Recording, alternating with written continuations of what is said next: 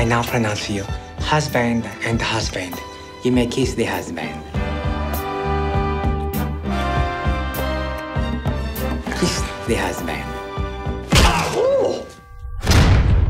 That's how we roll in our house, baby. Hell yeah. If this marriage is something you've cooked up in response to this pension problem, you are not taking me down with you. This marriage is the only way I can make sure my kids get my pension if something happens to me. This summer, Mr. Valentine, Yeah. I'd like to talk to you about your domestic partnership. Oh, jeez. two of New York's bravest are going to turn a little lie Our domestic partnership is being challenged by the city. You guys have nothing to worry about because you're a legitimate gay couple, right? into a whole new way of life. Oh yeah, we're uh, no, we're big time fruits. Oh, I like men. The way they smell and Okay. This investigation is gonna get rough. How long is Uncle Chuck staying? What happened to your place? Are you and Dad homosexuals? They are gonna quiz you about every aspect of your relationship. If we get caught, we're going to jail. Have a great day. Oh, we will.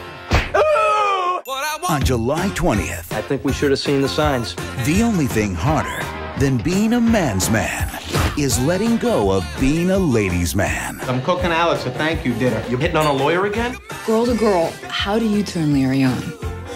You can't touch her. Our lives depend on her continuing to think you're gay. Universal Pictures cordially invite you to a comedy Thanks to you, I can't get close to her. I can't even have freaking fun with her. Why can't you have fun with me? You're smothering me, man. I can't freaking breathe. Because you're afraid of feeling trapped. That's what happens when you get married. Fat ass, we're not really married. about true romance That's not a pillowcase, it's my underwear, you idiot. in the faking. Oh. Adam Sandler, Kevin James, and Jessica Biel.